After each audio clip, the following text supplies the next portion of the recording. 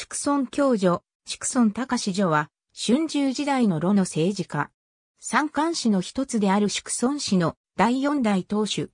姓は姫、死は祝孫、意味名は、教女、送り名は千。祝孫特進の長男で、祝孫表の二位。姓の傾向の外祖父。祝孫千白と呼ばれる。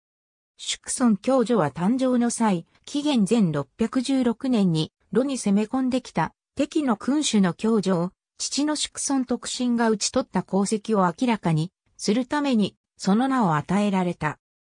紀元前589年に起きた蔵の戦いにて、進む軍や守る軍と共に、生を打ち破るなど、武勇の誉れを見せるが、その一方で、紀元前578年に、州の官王からの報奨目当てに包丁して、その意図を見破られたり、あるいは成功の母の牧教と密通したりと、横暴かつ合法な振る舞いも目立っていた。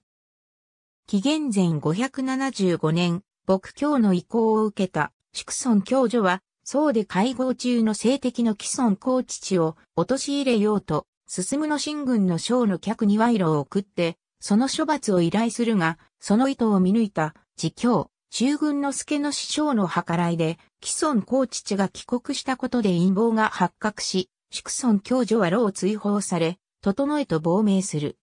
生において祝孫教女は、先に老を飛び出し、生に仕官していた弟の祝孫表と再会する。そして、そこでも、生の霊光の母の声申しに気に入られ、その肝入りで娘を霊光に死わせたり、今日の地位を約束されるが、祝孫教女は、かつての炉での失敗を顧みて、今度は守るに亡命し、かの地でも教として重んじられた。死後、戦を送りなされ、祝孫戦白と呼ばれる。霊光に嫁いだ娘は、僕武士姫と呼ばれ、産んだ子供が成功となったことで、成功室に隠然たる勢力を持つようになり、父親の祝孫教女は、傾向の祖と祖父として歴史に名を残すのである。ありがとうございます。